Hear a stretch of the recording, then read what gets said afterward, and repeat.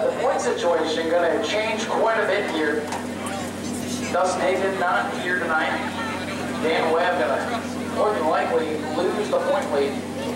We'll have to see how things all play out. Still a lot of races to go.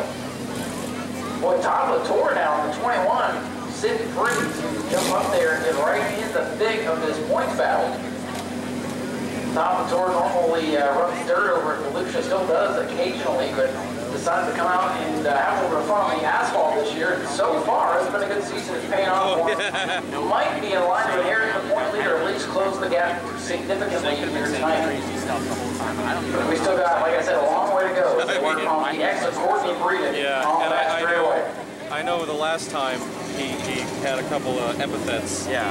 that So, he threw out there. So but yeah, just check the videos for audio stuff before you like post them per se, because I don't. I know YouTube's really strict about that. yeah, yeah. They will be on you in a second. At least post them. now they have a thing where when you post a video, you can. So get a red uh, flag out on the speakerway. I mean, they work on they the track how Courtney honest you Breeden. about got it. They have a thing where you can say this Great and this and this the are Brevin it. So- Quite so- the challenging situation. It's funny. Put Lester had said before, like, he should be thanking me for how much uh, money he makes off of my videos. And I'm like, dude, because of the things you're doing for videos, YouTube doesn't give me much money for it. Yeah. If you want me to buy you a cheeseburger, that's about how much you're going to get. Yeah. Swing it and run well, tonight's just number night.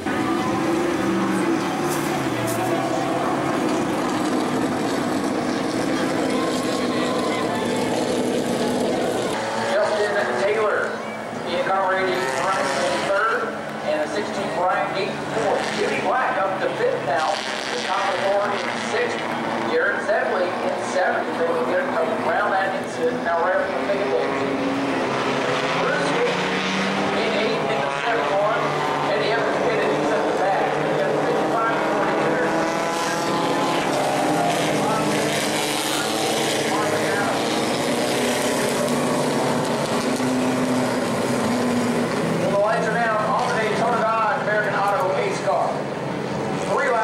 seven.